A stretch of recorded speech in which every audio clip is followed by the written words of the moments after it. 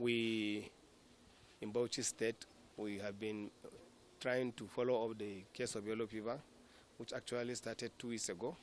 And uh, we, we have about only three confirmed deaths of yellow fever in Bauchi State today. And then we have 23 cases of yellow fever. About even today, seven samples was taken. Seven samples was taken to uh, our reference laboratory in uh, in uh, in Abuja, Gadua in Abuja, and um, our concern is that even here that we came, we see that we have about four patients.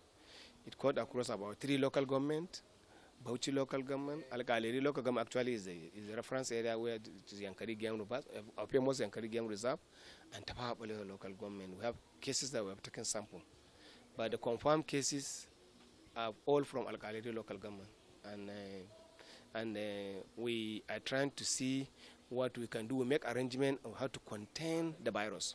One of the arrangement is that we started reactive vaccination over three or four days ago to the communities around the communities. Around the communities. We are trying to see that uh, we vaccinate the people around there who have no who have no cases, who have no fever, who have no fever. And then we also trying to see that the cases that we saw, particularly the one in Bauchi yesterday, we lost a patient who was actually moved to Yankari about a week ago and came back. We lost him. So we started following him. In epidemiology, you have to follow the contact. Immediately we were following yesterday, we got two people again.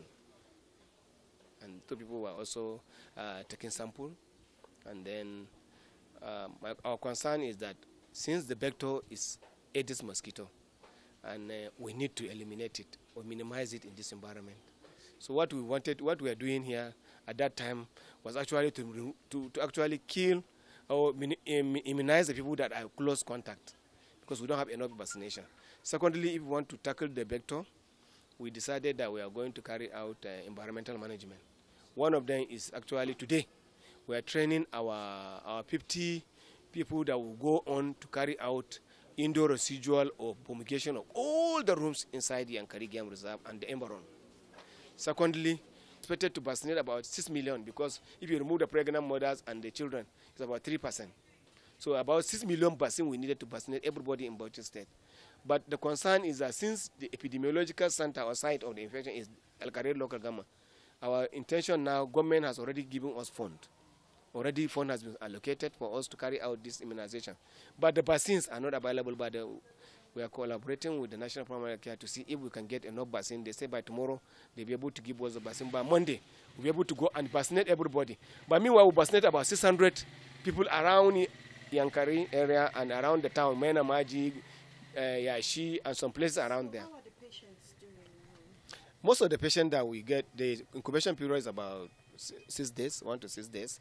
If you are able to pass that six days, you'll be able to likely survive. Since it is a virus, we're only treating symptoms. So symptomatic treatment is carried out. Here you can see that if they have fever, we treat the fever. If they are unconscious, can, most of them are unconscious after some time. So it's actually it is a deadly disease, but it's not infectious. So people should know and allay the fear.